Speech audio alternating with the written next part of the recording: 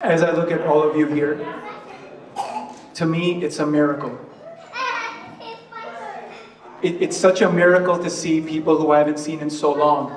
And I just wanted to tell you guys how we met, because that itself is a miracle. So when I finished my PhD in 2013, I had this desire to meet a lot of women, go to clubs, you know, drink and drugs and all the rebellious stuff. And I know Shami Manti over there didn't like me for that. There she is, she's on her phone. But she's right, I know what you were saying to my mom. And so, you know, being a model kid and going to Jamaat Khana every day and all that, I kind of took a back turn and started doing things that people were not, they didn't appreciate it. My mom and dad didn't appreciate what I was doing. But I was trying to find who I am.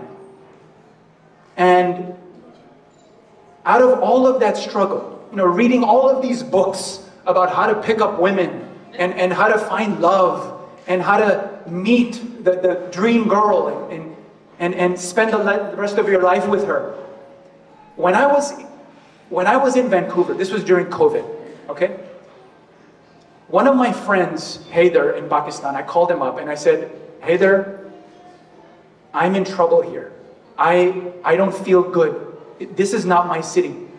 And he told me, Farhan, go to Tulum, Mexico. Go to Tulum, Mexico. And I'm like, why, why do I go to Tulum? What's the point?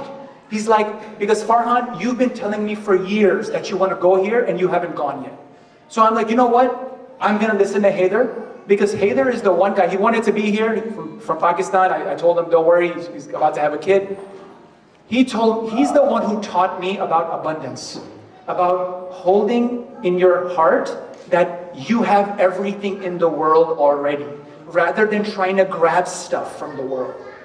So Haider said, go to Tulum, and I booked my ticket that day. I broke my lease, and my landlord was this Persian guy, was like just cursed me out every day for breaking that lease, but I went. As I was in the flight to Tulum, I spoke to, you know, the, the universe, God, Mawla, and I had one wish. I told him, when I get to Tulum, help me find a girl that will carry me through life and be with me in my life story, be with me in my journey towards life. And on my second day in Tulum, I was at a co-working space, Digital Jungle, and I saw Martha. You know, she was wearing really cute shorts and stuff. And uh, I, I was there on my, on my chair, I was working, and I saw this girl get up with the legs. And she, she started walking, right? And in that moment, I needed a miracle. Because we're nervous, right? You're nervous. You're in a new place. It's your, your first day in a city. I saw her walking and I said, there was some voice inside me. He's like, Farhan, go. Go get her. I stood up. I started walking. She went outside. She sat on the chair. I sat on the chair right next to her, pretending to, you know, ignore her. Kind of like, yeah, it's all chill. I'm good. And then she said something. And then I said something back. And we started talking. It was a miracle. That thing was a miracle. But it didn't stop there. Our relationship took some, you know, little roller coaster. I messed up a few things, and she got really mad at me about that. And then at a certain point, because of my mistake, because of what I had learned from those books 10 years ago about how, you know, how to talk to girls and how to, how to get her to chase you, you know, how to ignore her. I was doing all these games. And at a certain point, she had decided that she didn't want anything to do with me. She's like, you know what? Farhan is not for me. She told me this later. So we weren't talking to each other at all. She would literally come inside the co-working space and say hello to me, and I would ignore her. I would ignore her because of trying to be cool. And then we didn't talk to each other for a while. We basically stopped. And then the day of the miracle. This was around 6 p.m. in Tulum. I was riding my bike, and I see Martha at that very moment in that street riding her bike this way. And we hadn't talked to each other in weeks before that. We were done. And I talked to her, and you know, I'm, I'm like sort of goofy. So I go next to her in the bike. I'm like, You want to race? And then she's like, Yeah. So we start racing, and then she comes to her destination, and she goes her way, and I go my way. And I'm thinking, I'm like, Maybe I messed up. Like, why did we meet here? I don't really know. But I was too proud. I was too arrogant. So I'm like, yeah, you know what? Forget about it.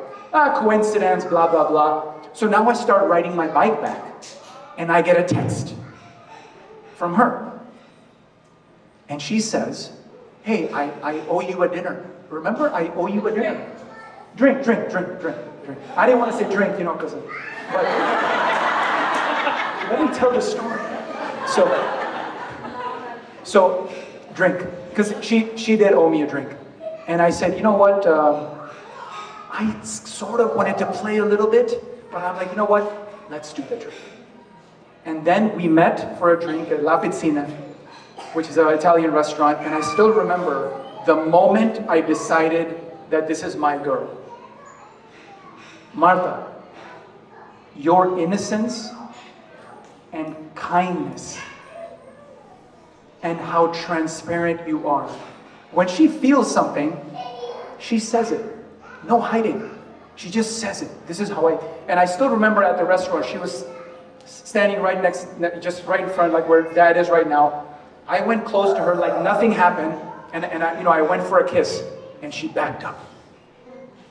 And I felt really bad, like I messed something up. She backed up, and then I'm like, I'm like, I know what's wrong. I ignored her. I messed up. And she's like, You can't just come and kiss me like that. What about what just happened? Right? And I, at that moment, while she was crying, and, and just so innocent and lovely and so kind, I decided that I'm going to take care of this girl. I'm going to take care of her. That night was a miracle.